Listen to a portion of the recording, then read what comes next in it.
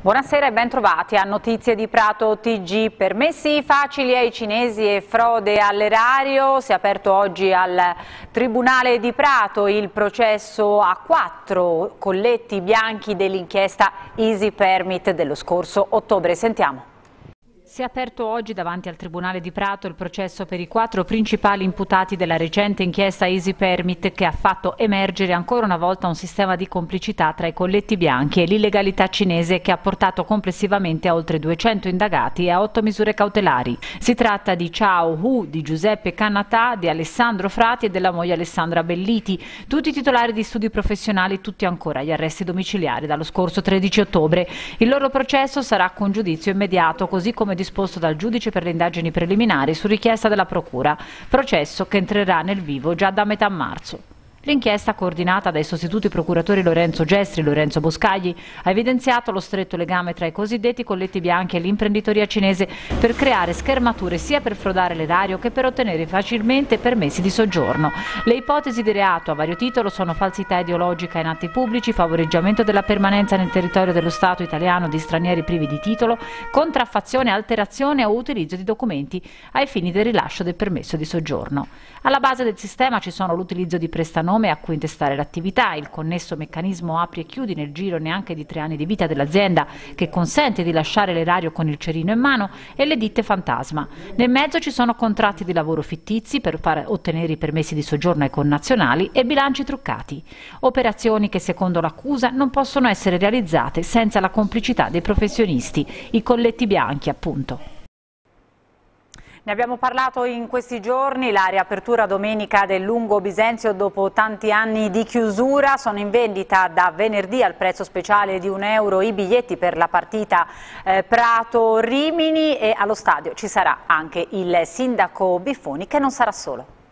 Cresce l'attesa tra gli sportivi pratesi per la riapertura del Lungo Bisenzio che domenica 30 gennaio tornerà ad ospitare una partita del Prato per la prima volta dopo la chiusura dello stadio quattro anni fa. I supporter biancazzurri dovranno però attendere fino a venerdì prima di acquistare i biglietti che per l'occasione il Prato ha deciso di vendere al prezzo popolare di un euro più gli eventuali diritti di prevendita, nonostante il calendario della Serie D abbia messo in programma la sfida con la capolista Rimini. Tra i tifosi pratesi paesi presenti a Lungo Bisenzio ci sarà anche il sindaco Matteo Biffoni che ha annunciato su Facebook l'intenzione di sedere tra gli ultras della curva e di portare allo stadio il figlio Stefano. Vedranno un campo tutto nuovo, bellissimo fra l'altro, il manto forse così non è mai stato, eh, diciamo non l'abbiamo mai avuto, è uno stadio sistemato in tutte le sue parti, sono in corso i lavori della eh, tribuna centrale, nel frattempo è stata montata una tribuna eh, diciamo mobile per per, per accogliere queste, queste, partite. L'importante è tornare a casa, l'importante è che Prato torni a Lungo Bisenzio, che i tifosi tornino a casa loro e questa è la cosa che ci soddisfa di più. E sul futuro del Lungo Bisenzio Biffoni non pone limiti. Perché è chiaro, se eh, arriva la necessità, e io cosa sapete molto, che me l'auguro e me l'auguro parecchio, di appunto un numero di spettatori sempre più ampio, un numero, una richiesta, una, una categoria superiore, eccetera, siamo pronti a fare tutti gli investimenti del caso per portare il Lungo Bisenzio alla all'altezza della sfida. E ora andiamo al macro lotto zero perché il rilancio di questo quartiere dove vivono tantissimi cinesi passa eh, dalla nascita di un consorzio con commercianti e residenti. Sentiamo.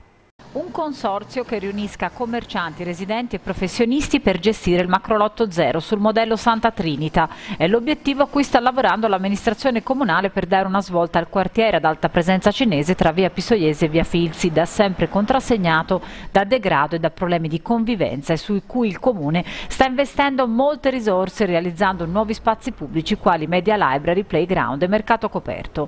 La novità è emersa stamani nel corso della seduta congiunta delle commissioni 3 e 4 dedicate dedicata alla petizione cittadina contro la riduzione dei posti auto che l'allargamento dei marciapiedi e la riqualificazione del tratto di strada di circa 450 metri che va dal Bar Scalina all'incrocio con via Marini sta comportando.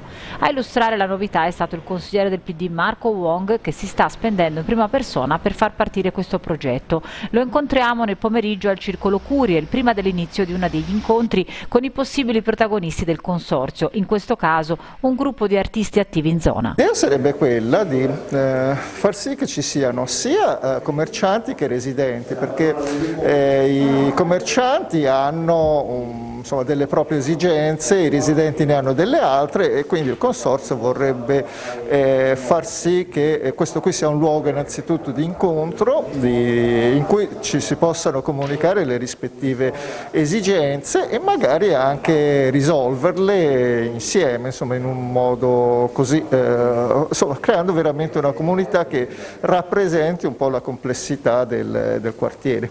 Ecco, la comunità cinese come sta rispondendo a questa vostra idea? Sì, adesso lo sto lanciando e insomma, richiede un notevole sforzo di spiegazione perché eh, ci sono tante associazioni di cinesi eh, qua su Prato, però sono normalmente eh, delle associazioni che rappresentano per esempio il mondo imprenditoriale oppure i cinesi che provengono da un particolare luogo della Cina, non c'è un qualche cosa che faccia qui a Prato riferimento eh, proprio a una precisa collocazione geografica locale no? e quindi eh, insomma, è questo quel motivo per cui eh, stiamo cercando di creare questo comitato. Passiamo al Covid, non c'è fortunatamente nessun pratese tra i 42 decessi Covid segnalati oggi dalla Regione, le vittime eh, pratesi da inizio emergenza restano quindi 698 con l'ultimo decesso che è quello del sessantenne comunicato ieri. Resta invece stabile la situazione nelle strutture ospedaliere della Regione dove la crescita dei ricoveri di pazienti Covid sembra rallentare per le terapie intensive e invertire la tendenza. Oggi i ricoverati nelle aree Covid degli ospedali della Regione sono complessivamente 1491, 5 in più rispetto a ieri, di cui 122 in terapia intensiva, 3 in meno. Venendo ai contagi, questi sono in calo rispetto a ieri sia a Prato sia in Toscana, ma a fronte di un'analoga diminuzione dei tamponi fatti. Nelle ultime 24 ore così i nuovi casi sono stati 813 in provincia e 10.535 in regione, su un totale di oltre 65.500 test analizzati. Sempre a proposito di Covid, il camper delle vaccinazioni pediatriche farà sosta anche nella provincia di Prato, 5 le date previste, il 2 e il, 15 febbraio, il 9 e il 23 marzo e il 7 aprile, ora però bisogna raccogliere le adesioni da parte dei genitori e dei presidi, le scuole infatti gestiranno le preiscrizioni, un compito che secondo i dirigenti scolastici ancora una volta andrà a gravare sulle segreterie scolastiche già oberate dalla burocrazia.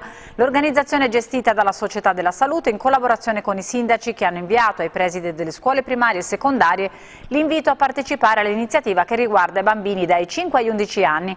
Ogni giorno verranno somministrate 80 dosi in 4 ore e non è ancora stato deciso se il camper sarà a disposizione di un solo plesso scolastico oppure verranno raggruppati più istituti comprensivi. E a proposito di scuola, ma cambiamo argomento, la primaria Poli eh, raddoppia e a settembre la prima campanella per i bambini sarà nella sede rinnovata. Sentiamo Alessandra Grati. La scuola primaria Poli si amplia. Da settembre saranno utilizzabili gli spazi della nuova palazzina. Al piano terra due mense e uno spazio per l'attività motoria e quattro aule al secondo piano. Il nuovo edificio sarà collegato con quello centrale della scuola realizzata nel 2008. I lavori sono costati 1.900.000 euro, di cui 700 finanziati dal MIUR. È un ampliamento della scuola primaria, è un ampliamento che da tempo il territorio aspettava e, e oggi i, lavori sono in uno stato d'avanzamento molto importante, nonostante quello che, tutti gli stop and go che abbiamo avuto purtroppo per la pandemia e anche per l'aumento dei costi del materiale che sono rialzati da, dal 15 al 25%. La nuova palazzina non è la sola novità per l'Istituto Comprensivo Olevi. Qui sarà trasferita una sezione della scuola secondaria e realizzato anche un laboratorio di robotica. Proseguono intanto i cantieri anche in altre scuole. Sono 13 quelle quelle monitorate dagli uffici del Comune che hanno bisogno di interventi di messa in sicurezza del solaio. L'importo complessivo dell'intervento è di 300.000 euro che prevede la risistemazione di 4.000 metri quadrati di eh, solai. Attualmente ne sono stati fatti 1.000 metri quadrati, gli altri 3.000 verranno fatti eh, quest'estate e l'intervento diciamo, più grosso dove ci ha permesso di mettere in sicurezza tutta la scuola è stato fatto alla Fermi dove eh, abbiamo trattato per adesso 300 metri quadrati di solai Il Consiglio Comunale di Vaiano, in occasione della giornata della memoria, si riunirà domani alle 17.30 con una seduta speciale dedicata alla testimonianza di Liliana Segre, che il Comune di Vaiano ha insignito della cittadinanza onoraria. Dopo il saluto del Sindaco e l'illustrazione delle motivazioni che hanno spinto il Comune a concedere la cittadinanza onoraria, sarà letto il messaggio che la senatrice a vita ha inviato per ringraziare. È stata rinnovata la convenzione tra Alia e Polizia Provinciale e nel 2021, l'anno che si è appena chiuso, è emerso che le aziende in regola sono in aumento. Sentiamo Alessandra Grati. L'attività di controllo di Alia e della Polizia Provinciale nel 2021 ha registrato un comportamento più virtuoso da parte delle imprese che producono scarti tessili. Su 89 controlli fatti, 70 sono risultati in regola, 7 avevano i registri compilati parzialmente in modo sbagliato e 12 ne erano prive. Le denunce penali sono state 5, dimezzati rispetto a 5 anni fa gli scarichi abusivi nel comune di Prato, da 900 del 2014 2014 si è passati a 457 nel 2021. La tutela dell'ambiente resta una delle funzioni più importanti dell'ente provincia. Tutela dell'ambiente vuol dire tante cose, ma in particolar modo vuol dire attenzione al contrasto dell'abbandono dei rifiuti. Questi sono comportamenti assolutamente inaccettabili e che grazie alla collaborazione tra la Polizia Provinciale e gli ispettori di Alia riusciamo a contrastare. Non solo contrastare ma svolgere anche delle importanti indagini. Un'attività portata avanti da Alia e dalla Provinciale attraverso un accordo che è stato rinnovato per il quinto anno consecutivo. La Convenzione prevede due uscite congiunte al mese durante le quali Alia affianca alla Polizia polizia provinciale un tecnico dei rifiuti in grado di parlare cinese. Oltre all'attività di, eh, diciamo di, eh, di, sanzione delle, delle, eh, di, di, quanto viene rilevato, c'è anche un'attività comunque di prevenzione e un'attività educativa nei confronti soprattutto delle aziende. È tutto, grazie per averci seguito, buona serata.